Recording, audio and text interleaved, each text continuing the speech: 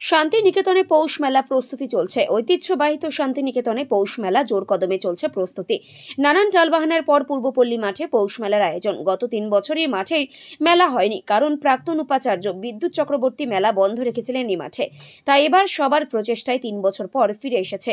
পূর্বপল্লী মাঠে মেলা এই মেলাকে ঘিরে বোলপুর শহর, জেলা, রাজ্য এমনকি দেশ বিদেশ থেকে মানুষ ছুটে আসেন এবং এই মেলা দেখার জন্য। আশা করা যাচ্ছে এবার মেলায় বিপুল সংখ্যক মানুষের জনসমাগম হবে। তাই জেলা প্রশাসনের তরফ থেকে সমস্ত রকম সুযোগ সুবিধার প্রচেষ্টা চালিয়ে যাচ্ছেন, যাতে পর্যটকদের কোনো রকম অসুবিধায় না পড়েন। ইতিমধ্যেই মেলায় পরিকাঠামো কাজ শুরু হয়ে গেছে। বিভিন্ন ব্যবসায়ীরা তাদের দোকান তৈরি করতে ব্যস্ত। দূর দূরান্ত থেকে ব্যবসায়ীরা ভিড় করছেন এই মেলায় দোকান করার জন্য। সকলেই যাতে মেলায় দোকানদাররা জায়গা পায়। তার সব রকম চেষ্টা চালিয়ে যাচ্ছে মেলা কমিটি। তার মধ্যে ত্রুটি বিচ্যুতি থেকেই যাচ্ছে। বিভিন্ন অভিযোগও আসছে। তা সত্ত্বেও মেলার প্রস্তুতি পর্ব তুঙ্গে। নতুন যিনি ইঞ্জিনিয়ার হয়েছেন, তার মাঠ সম্বন্ধে অভিজ্ঞতা নাই।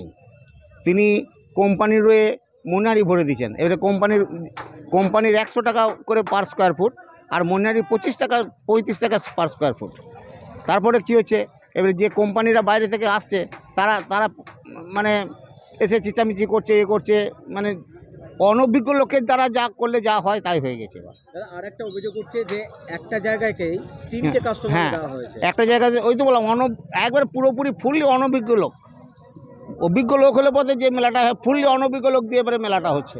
মানে মেলা এবারে সুষ্ঠুভাবে পরিচালনা করা ছটা মাথা হলে যা হয় আর কি। কারোর সঙ্গে কারও এদের ইয়ে নাই।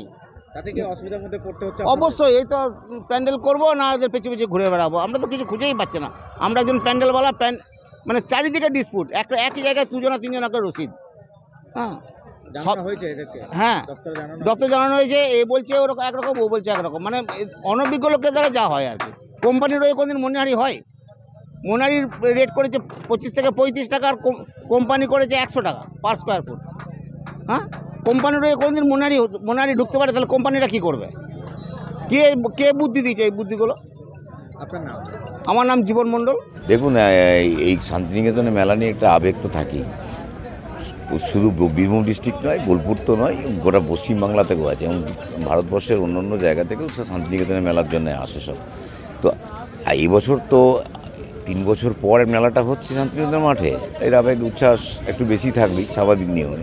এবং এখনও পর্যন্ত তোমার প্রায় চোদ্দোশো, পনেরোশো স্টল অলরেডি বুকড হয়ে গেছে।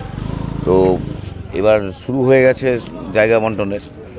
এই জায়গা বন্টন যেভাবে হয় সেভাবে শুরু হয়ে গেছে এবং আশা করছি কালকের মধ্যে আমরা কমপ্লিট করে ফেলব গোটা শান্তিনিকেতন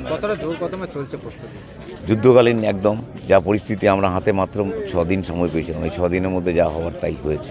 সেটুকুর মধ্যে যা করে নিয়েছি সবাই একত্রিতভাবে মেলাটাকে উদ্ধার করার জন্য ভালো করে মেলাটা যাতে করতে পারি। আমরা সবাই যেন এই মেলার সাথে গা ভাসিয়ে দিতে পারি এবং আপামর জনগণকে অনুরোধ করছি আপনারা সহযোগিতায় এগিয়ে আসুন। এই মেলাটা আগামী দিন যেন আরও উৎসবিত হয় এই আশা রাখছি। ব্যবসাদার হিসেবে খুশি আপনারা? দারুণ খুশি। এবং আমাদের এই দীর্ঘ আন্দোলনের পর আজকে এই জায়গাটা এসেছে এটার জন্য আমাদের আরও বেশি খুশি। আপনার পরিচয়? আমার ব্যবসা সমিতির কোষাধ্যক্ষ।